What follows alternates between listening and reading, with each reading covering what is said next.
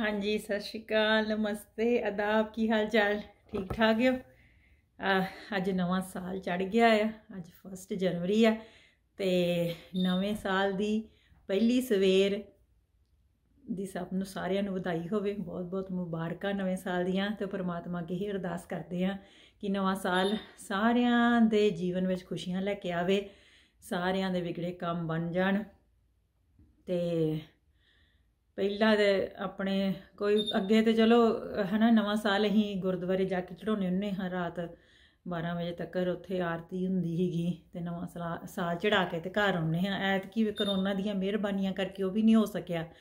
ਤੇ ਹੁਣ ਮੈਂ ਰੈਡੀ ਹੋਈ ਸੀ, ਮੈਂ ਕਿਹਾ ਚਲੋ ਗੁਰਦੁਆਰੇ ਮੱਥਾ ਟੇਕ ਕੇ ਆਈਏ, ਪਰਮਾਤਮਾ ਦਾ ਸ਼ੁਕਰਾਨਾ ਕਰਕੇ ਆਈਏ ਕਿ ਪਿਛਲਾ ਸਾਲ ਚਲੋ ਵਧੀਆ ਲੰਘਿਆ, ਲੰਘਾਇਆ। ਚਲੋ ਪ੍ਰੋਬਲਮ ਤੇ ਬਹੁਤ ਆਈਆਂ ਪਿਛਲੇ ਸਾਲ ਦੇ ਵਿੱਚ।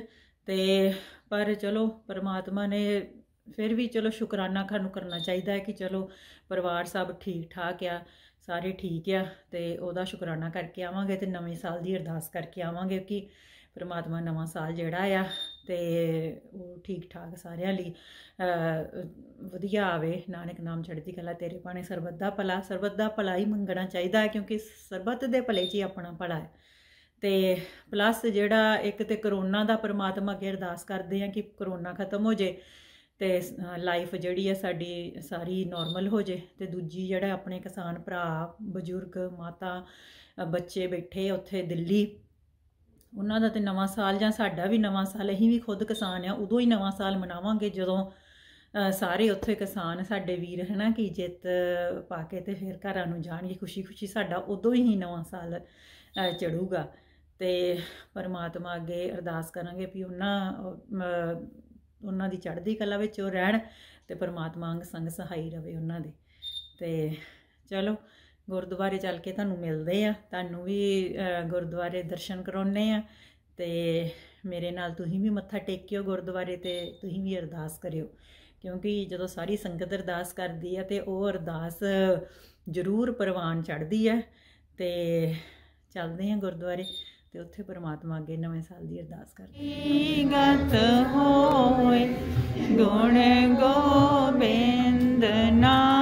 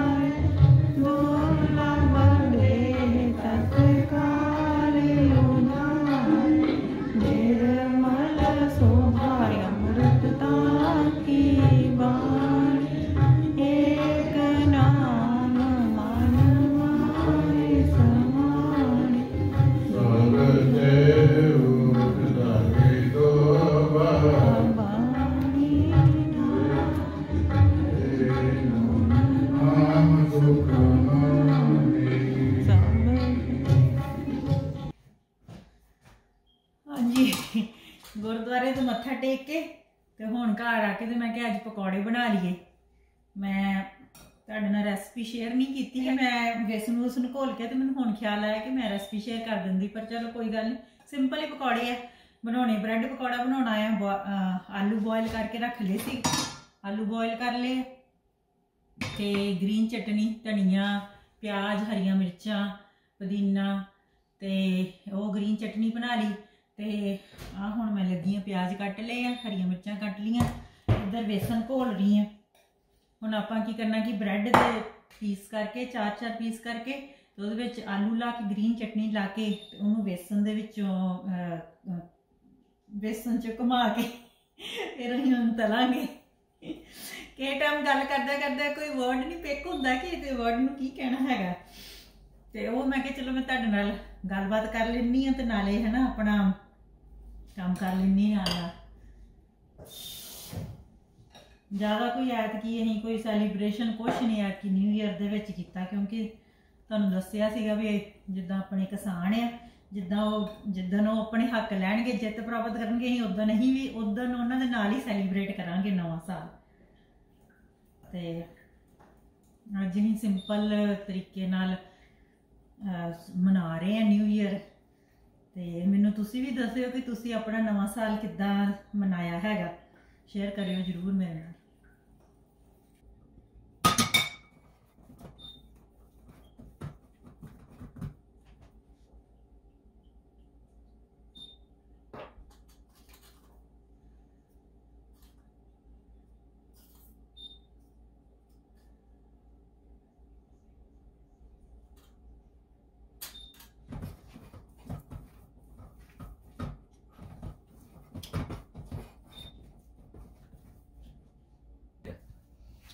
ਓਕੇ ਮੈਂ ਕਿਹਾ ਮੈਂ ਤੁਹਾਨੂੰ ਮਾੜਾ ਜਿਹਾ ਸ਼ੋਅ ਕਰ ਦਵਾਂ। ਆਹ ਦੇਖੋ ਆਸ ਪੀਸ ਤੇ ਅਸੀਂ ਚਟਨੀ ਲਾਵਾਂਗੇ ਇੱਕ ਪੀਸ ਤੇ। ਆ ਸਕੁਅਰ ਪੀਸ ਕੱਟ ਲਿਆ ਛੋਟੇ ਛੋਟੇ ਨਾ। ਆ ਬ੍ਰੈਡ ਲਈ ਹੈ। ਬ੍ਰੈਡ ਦੇ ਕਰਸਟ ਲਾਤੇ ਸਾਈਡਾਂ ਤੋਂ ਤੇ ਇਹਨੂੰ ਫਿਰ ਅਸੀਂ ਇਦਾਂ ਕਿੰਨੇ ਬਣ ਗਏ? 2 4 6 8 ਪੀਸ ਬਣ ਜਾਂਦੇ ਇਹਦੇ। 8 ਪੀਸ ਕਰ ਲੈਣੇ ਇਦਾਂ ਇਦਾਂ ਪੀਸ ਠੀਕ ਹੈ? ਫਿਰ ਅਸੀਂ ਇੱਕ ਪੀਸ ਤੇ ਲਾਵਾਂਗੇ ਗ੍ਰੀਨ ਚਟਨੀ। ਤੇ ਇੱਕ ਪੀਸ ਤੇ ਅਸੀਂ ਲਾਵਾਂਗੇ ਆਲੂ। ਕੈਮਰੇ ਤੇ ਲਾਗੇ ਦਿਖਾ ਦਿੰਨੀ ਆ। ਦੇਖੋ। ਇਦਾਂ ਆਲੂ ਲਾ ਲੈ ਤੇ ਚਟਨੀ ਵਾਲਾ ਪੀਸ ਤੇ ਆਲੂ ਵਾਲਾ ਪੀਸ ਇਹਨੂੰ ਨਹੀਂ ਇਦਾਂ ਕਰ ਦੇਣਾ। ਫਿਰ ਅਸੀਂ ਇਹਨੂੰ ਇਦਾਂ ਬਣਾ ਬਣਾ ਕੇ ਰੱਖ ਦੇਣੇ ਆ। ਜਦੋਂ ਅਸੀਂ ਤਲਣੇ ਸਟਾਰਟ ਕਰਾਂਗੇ, ਪਹਿਲਾਂ ਸਾਰੇ ਡਨ ਕਰ ਲਈਏ ਇੱਕ ਵਾਰੀ, ਫਿਰ ਈਜ਼ੀ ਹੋ ਜਾਂਦੇ ਕਿਉਂਕਿ ਤਲੇ ਤੇ ਝਟ ਜਾਣੇ ਆ। ਤੇ ਫਿਰ ਇਹਨੂੰ ਵੇਸਣ ਦੇ ਵਿੱਚੋਂ ਕੱਢ ਕੱਢ ਕੇ ਤੇ ਬਸ ਇਦਾਂ ਵਿੱਚ ਤਲੀ ਜਾਣੇ। ਤੇ ਪਹਿਲਾਂ ਅਸੀਂ ਇਹ ਸਾਰੇ ਪੀਸ ਡਨ ਕਰਕੇ ਰੱਖ ਲਏ। ਤੇਲ ਗਰਮ ਹੋ ਗਿਆ ਵਾ। ਆਪਣੀਆਂ ਆਪਣੀਆਂ ਪਲੇਟਾਂ ਲੈ ਕੇ ਤੇ ਇੱਥੇ ਆ ਜਾਓ ਮੇਰੇ ਲਾਗੇ। ਗਰਮ ਗਰਮ ਪਕੌੜੇ ਛਕ ਲਓ। ਆਹ ਦੇਖੋ, ਡਿਪ ਹੋ ਗਿਆ ਵੇਸਣ 'ਚ, ਹੁਣ ਇਹ ਜਾਊਗਾ ਤੇਲ 'ਚ। ਪਰ ਥੋੜਾ ਹੱਥ ਸੰਭਾਲ ਕੇ, ਮੈਂ ਤੈਨੂੰ ਆਲਵੇਸ ਕਿੰਨੀ ਕਿ ਜਦੋਂ ਤੁਸੀਂ ਡੀਪ ਫਰਾਈ ਕੋਈ ਚੀਜ਼ ਕਰਦੇ ਜੇ ਬਹੁਤ ਹੀ ਜ਼ਿਆਦਾ ਕੇਅਰਫੁਲ ਹੋ ਕੇ ਕਰਨੀ, ਕਿਉਂਕਿ ਤੇਲ ਬਹੁਤ ਗਰਮ ਹੈ ਤੇ ਧਿਆਨ ਰੱਖਣਾ ਕਿ ਉੱਤੇ ਨਾ ਕਿਤੇ ਪੈ ਜਾਏ ਛਿੱਟੇ ਛੁੱਟੇ। ਲਓ ਜੀ।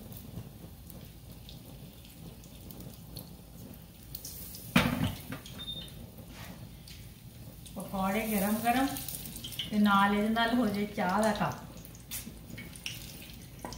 ਵੈਰੀ ਗੁੱਡ ਕੰਬੀਨੇਸ਼ਨ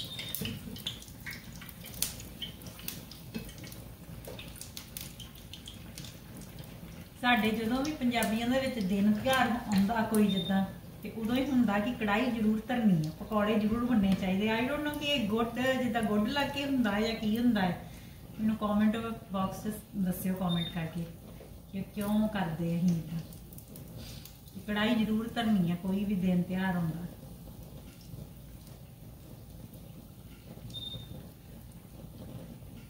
ਚਲੋ ਜੀ, ਪਹਿਲੀ ਟਰਨ ਕੀਦੀ ਆ ਪਕੌੜੇ ਲੈਣ ਦੀ? ਪਕੌੜੇ ਰੈਡੀ ਹੋ ਗਏ।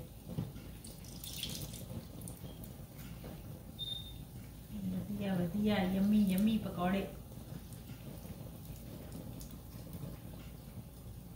ਗੋਲਡਨ ਬ੍ਰਾਊਨ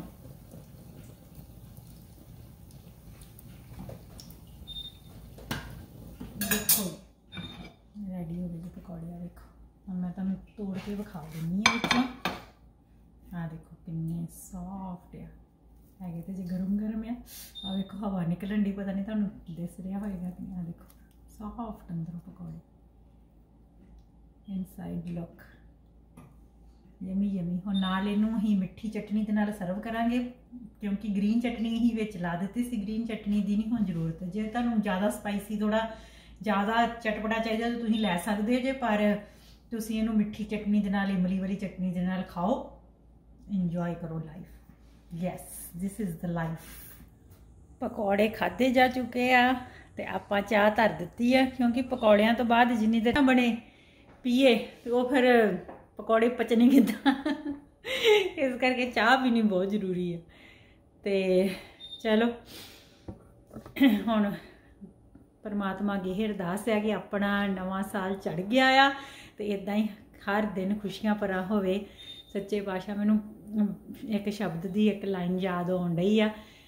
ਐਸੀਆਂ ਖੁਸ਼ੀਆਂ ਲੈ ਆਵੀਂ ਬਾਬਾ ਨਾਨਕਾ, ਇਹੋ ਜਈਆਂ ਇਹੋ ਜਈਆਂ ਖੁਸ਼ੀਆਂ ਲੈ ਆਵੀਂ ਬਾਬਾ ਨਾਨਕਾ।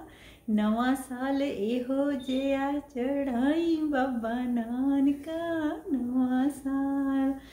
ਚਲੋ ਤੁਹਾਡੇ ਸਾਰਿਆਂ ਲਈ ਨਵਾਂ ਸਾਲ ਬੜਾ ਵਧੀਆ ਹੋਵੇ। ਤੇ ਤੁਹਾਡੇ ਸਾਰੇ ਰੁਕੇ ਹੋਏ ਕੰਮ ਬਣ ਜਾਣ ਤੇ ਚੜ੍ਹਦੀ ਕਲਾ ਚ ਰਵੋ ਤੇ ਆਪਣੇ ਜਿਹੜੇ ਕਿਸਾਨ ਭਰਾ ਆ, ਉਹ ਸਭ ਤੋਂ ਪਹਿਲਾਂ ਤੇ ਉਹ ਜਿੱਤ ਪ੍ਰਾਪਤ ਕਰਕੇ ਆਪੋ ਆਪਣੇ ਘਰ ਖੁਸ਼ੀ ਦੇ ਨਾਲ ਜਾਣ। ਇਹੋ ਹੀ ਸਾਡੀ ਅਰਦਾਸ ਆ। ਤੇ ਇਸੇ ਨਾਲ ਇਸ ਨਾਲ ਹੀ ਅੱਜ ਆਪਣਾ, ਅੱਜ ਦਾ ਵਲੌਗ ਖਤਮ ਕਰਦੇ ਆ। ਤੇ ਮਿਲਦੇ ਆ ਤੁਹਾਨੂੰ ਅਗਲੇ ਵਲੌਗ 'ਚ। ਤੇ once again happy new year ਤੇ ਵਸਦੇ ਰਹੋ, ਖੁਸ਼ ਰਹੋ, ਚੜ੍ਹਦੀ ਕਲਾ ਚ ਰਹੋ, ਤੰਦਰੁਸਤ ਰਹੋ, ਹੱਸਦੇ ਰਹੋ ਤੇ ਕਰੋਨਾ ਤੋਂ ਬਚ ਕੇ ਰਹੋ। ਆਈ ਹੋਪ ਕਿ ਸੱਚੇ ਪਾਤਸ਼ਾਹ ਦੀ ਮਿਹਰ ਹੋ ਜੇ ਤੇ ਕਰੋਨਾ ਖਤਮ ਹੋ ਜੇ ਤੇ ਸਾਡੀ ਲਾਈਫ ਪਹਿਲਾਂ ਵਾਂਗ ਨਾਰਮਲ ਹੋ ਜੇ। ਤੇ ਚਲੋ, ਠੀਕ ਹੈ। Okay bye bye